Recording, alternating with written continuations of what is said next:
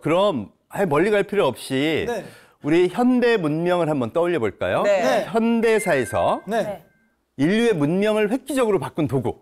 스마트폰. 저번에 선생님께서 오셔가지고 이 스마트폰을 들 인류를 구분해야 된다. 네. 그래서 포노사피엔스라는 용어를 알려주셨어요. 네. 호노사피엔스. 아, 귀엽다. 그래서 저는 현대 인류를 뭐라 그러냐면 오장 육부가 아니라 이제 오장 칠부다.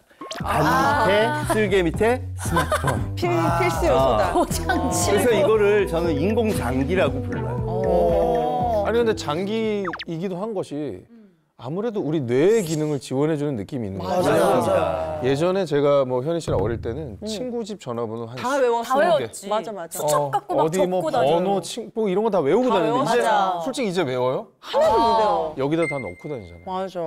근데 생각해 보면 어, 스마트폰이 처음 나온 게 2007년 폰이 나왔고요.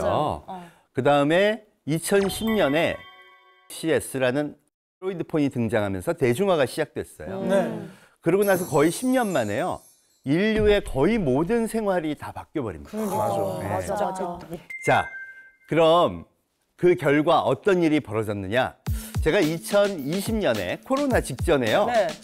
세계 시가총액을 이렇게 쭉 뽑아봤어요. 네.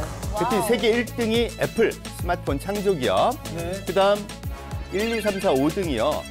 폰을 기반으로 디지털 문명을 차지한 기업들이 그냥 확 메워버립니다. 그러네. 예.